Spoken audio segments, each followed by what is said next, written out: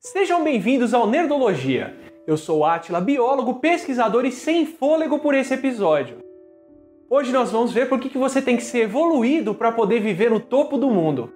Até 1953, ninguém tinha pisado no pico do Everest, porque é um dos ambientes mais extremos da Terra. Durante a década de 50 toda, seis pessoas conseguiram fazer isso. Na década de 90, foram mais de 880. E nos anos 2000, quando ainda se contava, chegamos a mais de 300 por ano.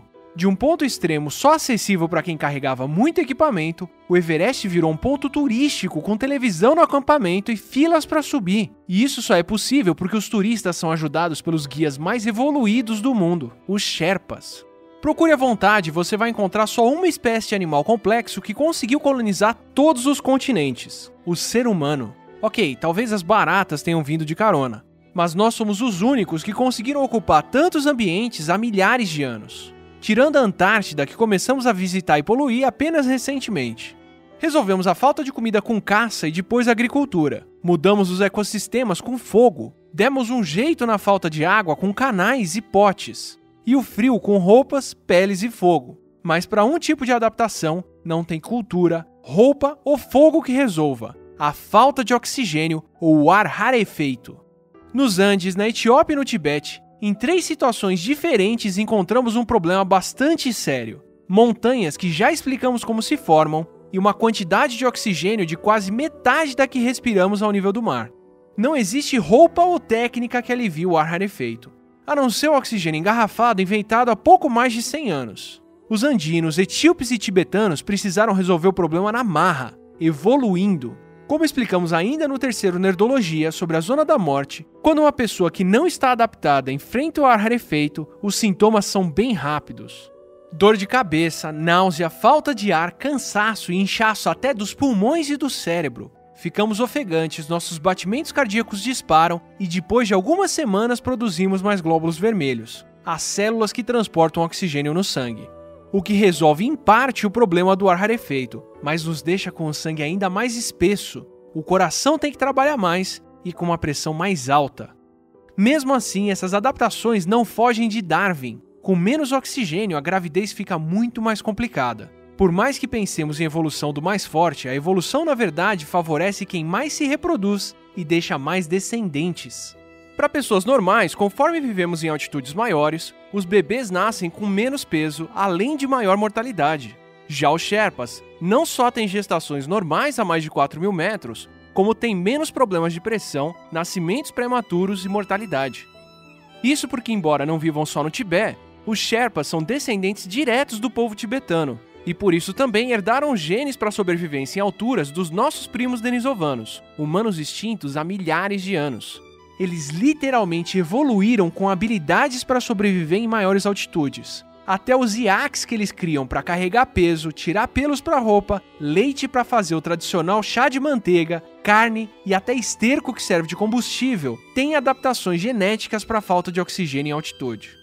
Andinos têm um sangue mais espesso e pagam o preço de viver nas alturas, pois podem ter problemas com altitude quando idosos, mas não os Sherpas. Ao invés de fazer mais células sanguíneas, eles circulam o oxigênio com mais eficiência. Tem um tórax maior e um pulmão que consegue passar mais oxigênio para o sangue, além de terem uma melhor circulação e manterem batimentos cardíacos mais altos do que nós. O que leva mais oxigênio para o cérebro e explica como os Sherpas podem continuar lúcidos em ambientes como a Zona da Morte, onde pobres humanos estão desmaiando. Isso faz todo sentido biológico eles não precisam reduzir o metabolismo cerebral. Junto com a melhor circulação, tem menos fibras musculares em geral, mais fibras musculares lentas e mais vasos sanguíneos nos músculos. Ou seja, você nunca verá um Sherpa competindo com os islandeses gigantes do homem mais forte do mundo, mas em compensação conseguem carregar muito mais peso montanha acima, trabalhando com muito mais eficiência.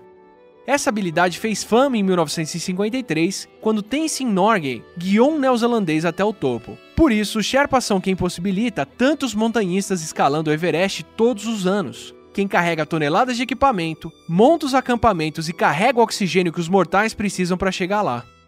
Os montanhistas que gastam dezenas de milhares de dólares com as escaladas encontraram um povo nascido para isso que trabalha por uma fração do preço. E os Sherpas que ganham a vida com esse trabalho assumem muito mais riscos sem levar a fama. Sobem e atravessam perigos como a geleira Kumbo dezenas de vezes mais do que quem os contrata. Por isso, desde o Nerdologia Zona da Morte, 16 Sherpas morreram em 2014 em um avalanche, e pelo menos outros 10 morreram com o terremoto de 2015, que fecharam o Everest para escalada pela primeira vez por dois anos seguidos. Povos como Sherpas realmente evoluíram para viver onde vivem. E com o aquecimento global aumentando o degelo e avalanches nos Himalaias, e mais turistas tentando chegar no topo do mundo, estamos fazendo eles pagarem o nosso preço. Esse Nerdologia foi um oferecimento do Discovery, que vai estrear no dia 24 de abril o documentário Sherpas A Vida no Everest. Contando como é a vida e o trabalho desse povo nepalês que possibilita as expedições à montanha mais alta do mundo. O documentário irá mostrar o que aconteceu há dois anos na avalanche que vitimou 16 Sherpas. Poderemos ver o antes e o depois de uma das piores avalanches registradas no Everest, que motivou também toda uma discussão sobre a indústria do alpinismo e mudou as condições de trabalho dos Sherpas.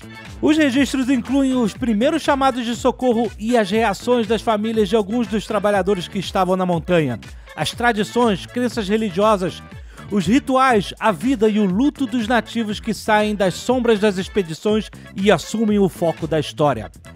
Sherpas, a vida no Everest, mostra um verdadeiro retrato da cultura desse povo que você viu como evoluiu.